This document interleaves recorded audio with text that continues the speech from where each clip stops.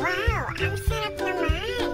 Mga boss, gusto niyo bang malaman kung ano ang kinakain ng dalawang bulilit na yan? Stay tuned at para masubukan niyo rin sa inyong mga chikiting. Yum, yum, yum! Uy, pahingi naman! on Zombie Apocalypse.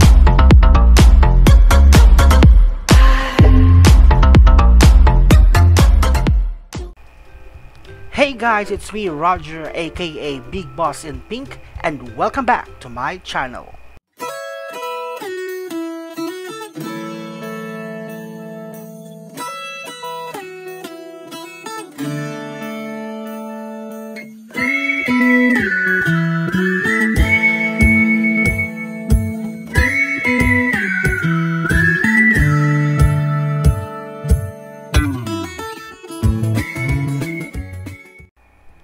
For today's episode, hindi muna tayo lalabas gaya ng dati.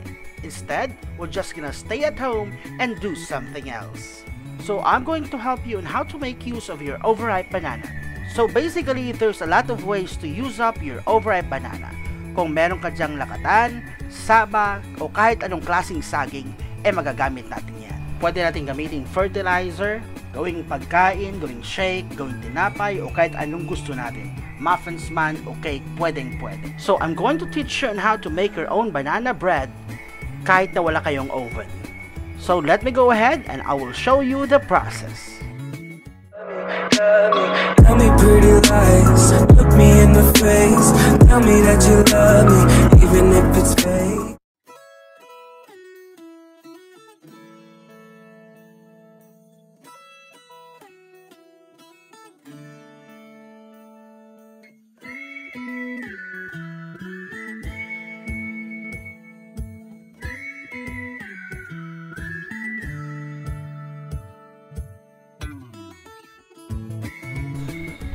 So, ang una natin gagawin guys is kukuha tayo ng strainer, gagamit tayo ng strainer para isi-sift o sasalain natin yung ating 3 cups of flour para magkaroon tayo ng consistency o pino na harina.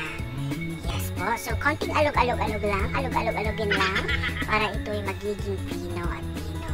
Ang isusunod naman natin dyan guys ay yung 1 and 1 half tablespoon na baking soda. So, ganun din ang gagawin natin. Alog-alogin lang natin ang kakaunti. Alog-alogin lang natin ang kakaunti. Ayun, na, nalaglag pa. Yun. Alog-alogin. Para mas, ma, ano natin, masasapalit natin yung bilog. Ayun, kita nyo, may bilog, oh. Yan. Sunod natin naman dyan is yung baking powder. 1 and a half tablespoon baking powder. Konting alog-alog, alog-alog, alog-alog-alog lang. At saka, mahihiwalay na yung pino sa hindi pinong ah, tawag dito, yung mga powder natin. Kasi namumuo yan eh, bumibilog, na nagiging bilog yan. Yan. Pagkatapos naman dyan, sa tingin ko, ang ilalagay natin ay asukal. So, meron tayong 1 and a half cup brown sugar. Yan, yung sugar natin parang ang galing no, ang, ang ganda ng ano, ng texture ng sugar natin. Ayun. So, meron tayong mascovado sugar at saka yung brown sugar talaga. Eh, pinaghalo ko na lang kasi naubusan na ako ng stocks. Ayan. So, pagkatapos yan, ihaluin na natin. Yung sugar pala hindi na natin isi-sift na. Wala naman tayong problema dyan. Ayun, haluin natin. Gumamit tayo ng whisk. Saka haluin ng haluin ng haluin ng haluin hanggang hanggang sa magiging yun, ganyan yung itsura niya. Magiging mix na yun, magmi-mix na yung ating ah, harina, baking powder, baking soda, at saka yung asukal. Yeah, so medyo maliit po yung ating bowl dyan. So, um, gagamit tayo ng medyo ma- mas malaking ah, bowl para hindi, hindi tumalsik, hindi, ano nga ba Tagalog ng ano? Yun. Hayaan mo na. So, gumamit tayo ng malaking bowl. Gagamit tayo ng ganyan. Kasi yung ating uh, uh, ingredients ay medyo marami. So, after nun, nilipat tayo. Yan, gatas naman tayo, gatas. I- um, eh, ano ba yung gatas natin? Mhm, one and a half cup or two cups of milk.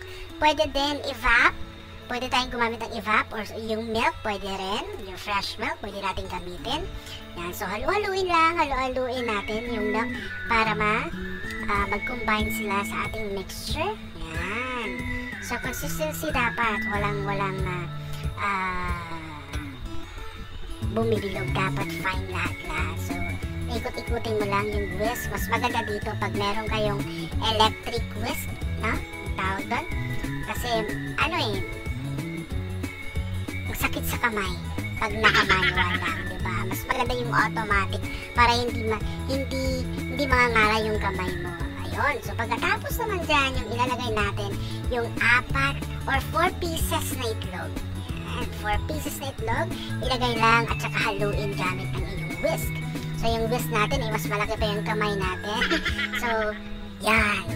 Hinawakan ko lang mabuti para hindi mo madulas. Yan. Halu-haluin lang, halu-haluin, halu-haluin.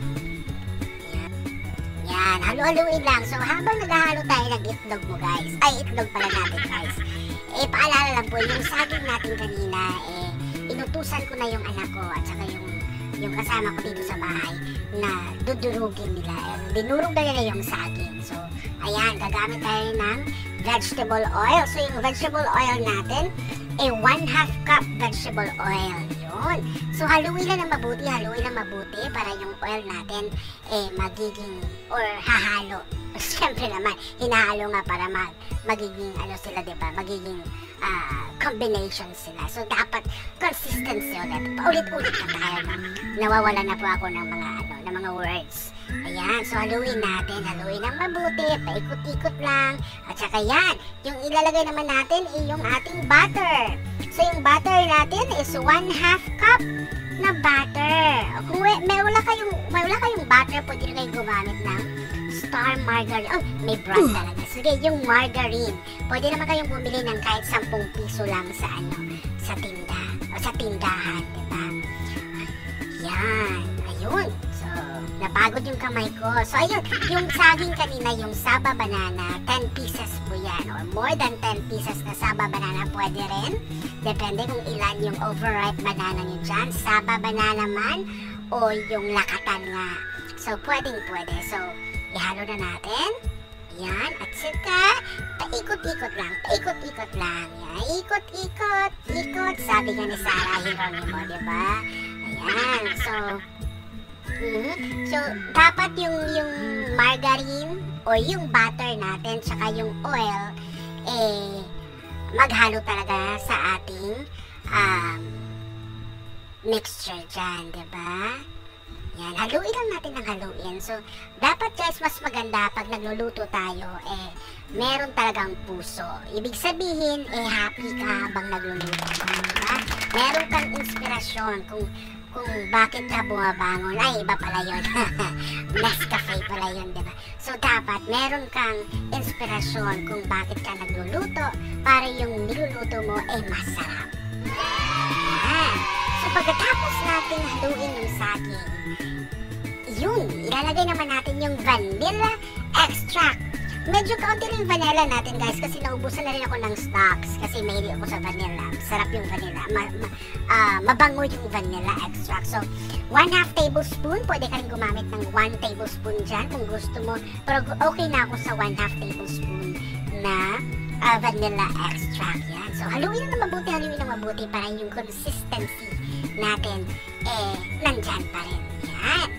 Hey guys, don't forget to uh, subscribe and uh, thumbs sa ating video po ngayon. Yung magiging happy talaga si Big Boss nyo. Ayan, so isasali na natin siya sa lagayan natin ng bread. Okay, bago natin isalang sa apoy. So, lagyan po ng butter or margarine or oil yung inyong lagayan ng bread at saka kalahati lang po ilalagay natin na mixture kasi aangat pa yan. Yan. So, nilagay na natin dyan. Pagkatapos, eh, magpe-prepare na tayo ng ating ah,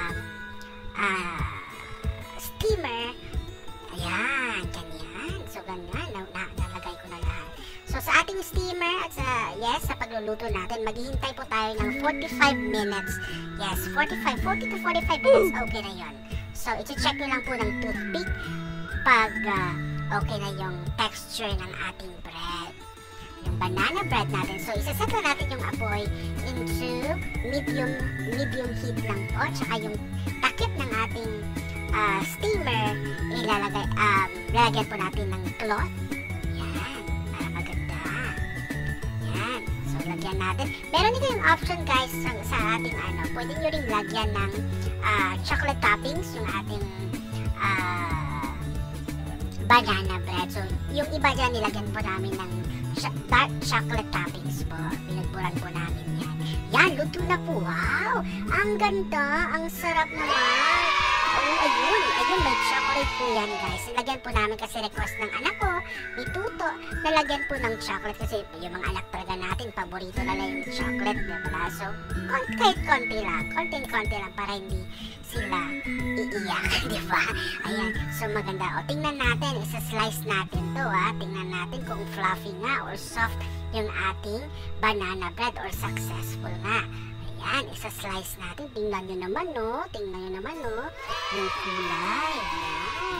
Yung mini cupcake at saka yung mini bread, yung bread natin, banana bread natin, eh luto na po. Ayan, isasalin na natin sa ating ah, pinggan. Ayun, tingnan nyo naman. O, balik ka rin natin, balik ka rin natin para makita natin yung pagandaan. Dahan-dahan lang po. Yun. Yan, isa-slice. Tingnan nyo guys, for sure, for sure magugustuhan ito ng inyong mga anak and most especially din po ng inyong mga tatay, yung inyong papa, yung daddy, yung mami ninyo, magugustuhan nila guys. Yan, so ayan, inihiwa na po natin ang gamit ng ating bread knife. Yan, tingnan nyo naman po, oh, ang lambot, ang amoy niya ay parang vanilla na may saging. Di ba? Ang galing. Ayan, ito, ito naman po yung may chocolate natin na toppings. Binubura natin ng dark chocolate. So, isasalin din natin siya yan. Tingnan nyo nga naman, parang ano, commercialized, di ba? Yan. Ah, check nyo pag na-slice na natin, ha? Check nyo. Ayan, yung dark chocolate natin. So, pwede rin kayong gumamit ng coffee, coffee ah, powder. Kung gusto yung coffee flavor, kahit anong flavor mixture, ha, ihalo nyo lang po sa banana nyo. Pwedeng pwede po. Depende po sa gusto ninyo. Ayan. So, sa susunod po, marami tayong itatry yan. Tingnan nyo naman. And by the way, guys, yung iba dito, yung, yung ah, ibang niluto namin, yung pinamigay namin sa aming neighbors at nagustuhan naman nila. Diba? Ang galing. So, guys, if you have any suggestions, don't forget to subscribe and uh, hit the notification bell and also drop uh, your comments down below. Okay, guys? Thank you so much for watching and thank you so much for being with us. Love, love, love. God bless us all. Take care always. This is your big boss. Bye bye.